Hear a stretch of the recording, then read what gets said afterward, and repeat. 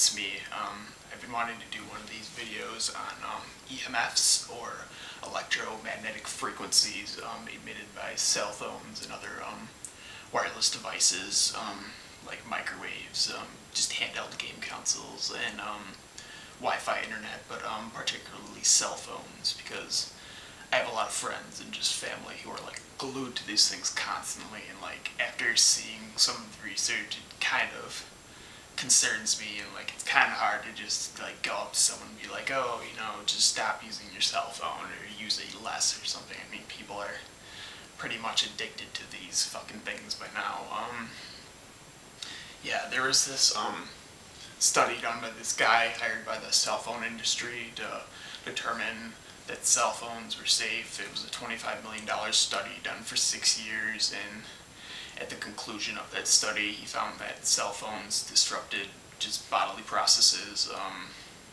they cause genetic damage, which is basically what leads to cancer in the rapid cell division. Um, and the brain tumors um, that are on the same side of the head that, that are as the user uses their cell phone on and just um, there's another study done um, on rats where they were put in a cage with um, cell phones that were emitting their frequencies and checked 50 days later versus a control group and there was blood vessel leakage in the brain and cellular death. Um, this is like just a big concern to me because these are pretty much everywhere now. A lot of people are just like you know, they pretty much use them all the time. Like, it's like, what are you gonna do? It's, um, I know there's some class action lawsuits going up, and Congress has let them just continue with those. So, I mean, like, and I know there's like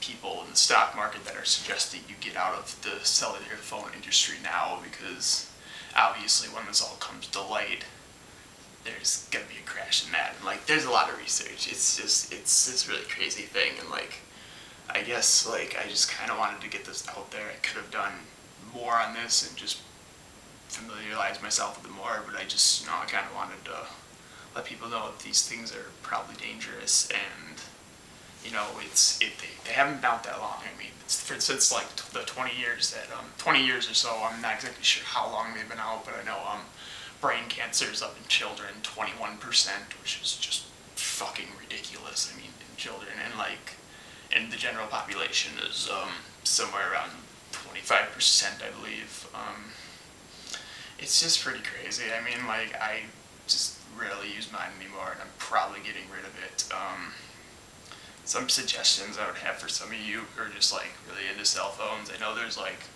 some device, there's, like, some kind of things you can buy that are supposedly supposed to, um, reduce the EMFs that are emitted. Um,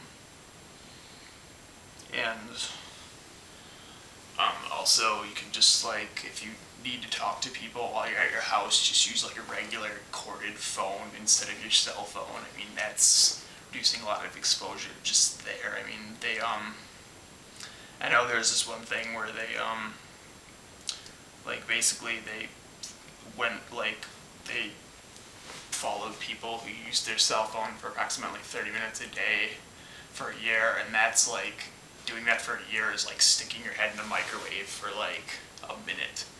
And this, it's just crazy. I mean, it, it raises the um, 30 minutes on a cell phone, raises the temperature in your brain one degree Celsius, and just, it disrupts the um, cellular process. And I know it like can, over time, it can eventually break the bonds. Like I know it's non-ionizing radiation, but over time it will eventually do that. And just, yeah, I've been really concerned about this. So like a lot of people, like I would suggest using your cell phone less. I mean, a lot of you, I know you're not going to be able to give it up. I just like keep it away from you when you're not using it. I mean, you can still leave it on, but just put it away from you in the room. I mean, just try to use it less. That that's basically all I can say. I know there's a lot of just shit out about this, and like it's kind of concerning me. So yeah, that's my suggestions. I mean, I'll probably do a follow-up video for this, and if anyone wants to know, like, some products that you might be able to use um, to help reduce that or eliminate it, I don't know what's going to go on with this. I'm really hoping Congress just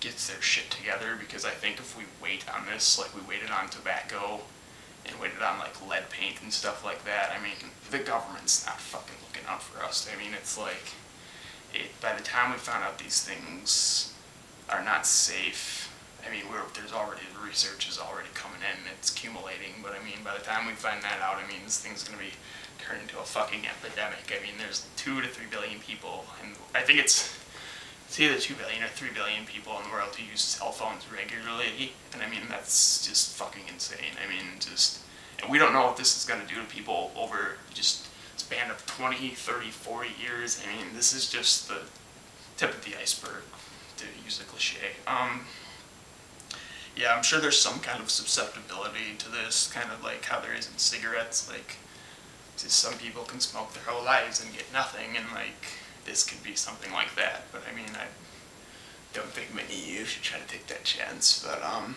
yeah, this is just something I'd recommend, and um, yeah, I guess that's it.